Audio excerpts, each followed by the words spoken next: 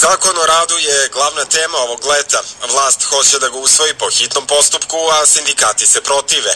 Više o ovome Srđan Šikić.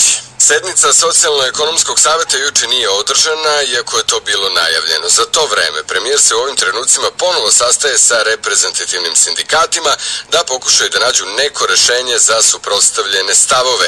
U udruženim sindikatima sloga nisu sigurni u uspeh sastanka. A mi ne očekujemo znači, da tom sastanku bilo šta može da se reši. Znači bilo šta krucijalno. Mogu da se naprave eventualno neke kozmetičke promene koje bi možda zadovoljile na prvi pogled i jednu i drugu. Zato najavljaju proteste.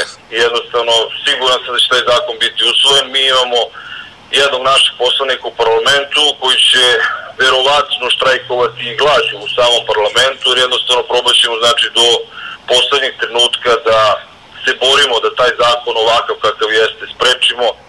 Biće ovo radno leto za sindikate,